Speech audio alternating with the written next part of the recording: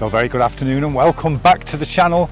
This week I'm delighted to say I've passed my A2C of C, that's Certificate of Competency, to meet the necessary regulations required to fly my DJI Mavic Pro and meet the necessary and relevant regulations.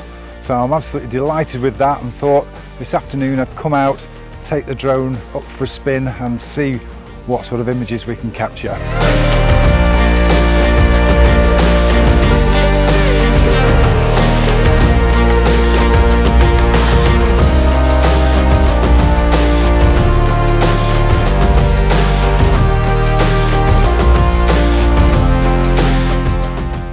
So very conscious that we are still in this stay-at-home regime and travel is restricted to remaining local so decided this afternoon to come out onto Bickershaw Country Park to which unbelievably I've never been before. So if you look on Google Maps you can see that it is just the mining remnants, it's the slag heaps, the rucks and I would never even thought of coming up here until I happened upon the fact that they'd actually regenerated this area and turned it into a country park full of wildlife uh, and much interest as well. So as you can see it's absolutely beautiful.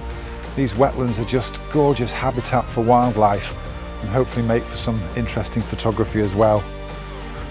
I'll just show you around the area a little bit more as we fly the drone over the wetlands. Absolutely beautiful up here and I can't believe I've never been. So when you look at the ingredients for an image, you think about those four main components, subject, light, composition and timing. So taking the compositional element in isolation, there's a wide variety of factors that influence how you put an image together, including, for example, leading lines, visual weight, negative space, how the image tells a story or conveys a mood or feeling. But in today's film I'm going to focus purely on lines, shapes and patterns and how utilising these in the landscape can shape your images and produce at times some quite abstract photography. We're going to take the drone up high now, obviously with these reeds in the foreground. They could make for an interesting top-down drone shot. So we'll just get the drone up, turn that camera, get the gimbal pointing down, get overhead and take that image.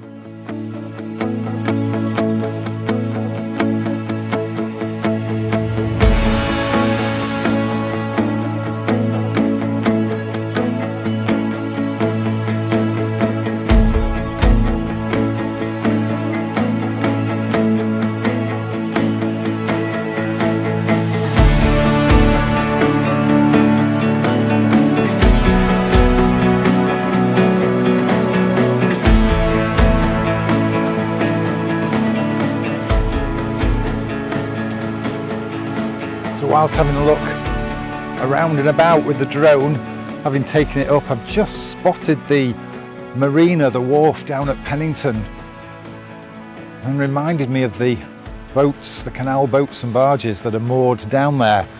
And again, that's very much potential for a shot composed of repeating shapes, patterns, lines.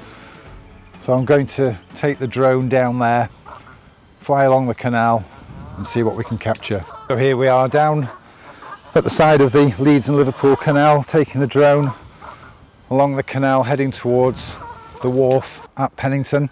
Lovely afternoon. So we're going to take the drone up, get the drone up high, and then rotate the gimbal down, pointing straight down, get that classic looking down shot.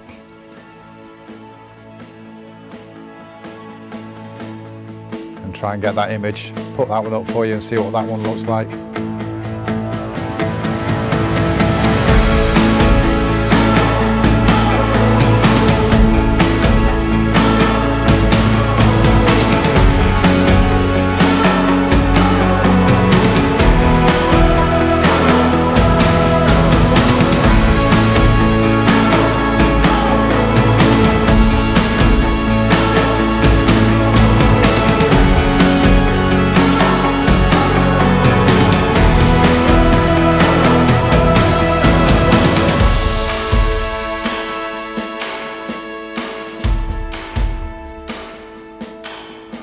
Okay, so we've come just a couple of miles from the wharf where we've just taken that last image and it's not the most glamorous of sights. It's a, a sewage works right next to a solar panel farm.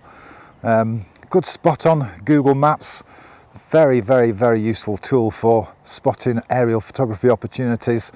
And so I've come down here to get the drone up and take a couple more images.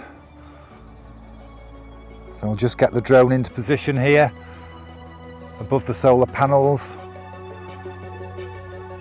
Obviously we've got the rectangles, the repetition of the patterns. Take that image and see what that one looks like.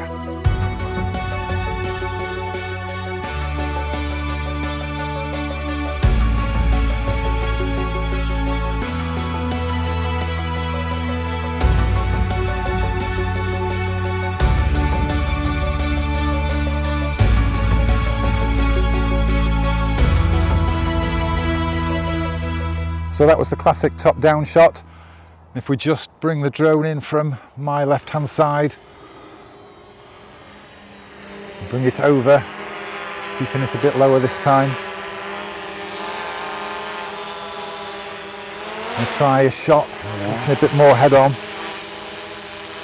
And try that one and see what that one looks like.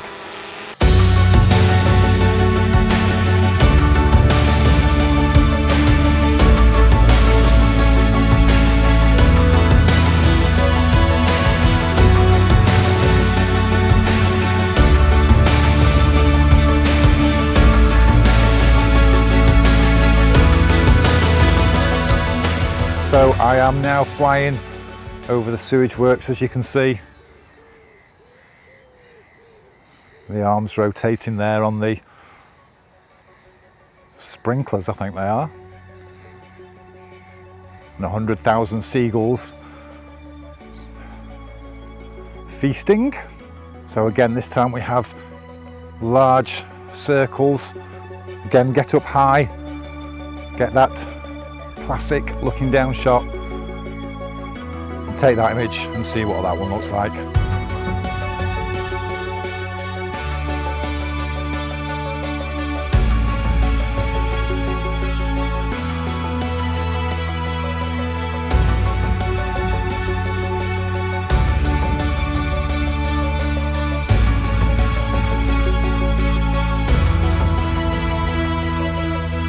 So we've got the drone down now and uh, captured those images, get those back into post-processing and see what they look like.